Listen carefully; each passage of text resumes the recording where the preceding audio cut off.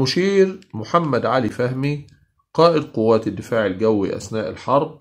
ولد في 11 أكتوبر 1920 وتوفي رحمه الله في 11 سبتمبر 1999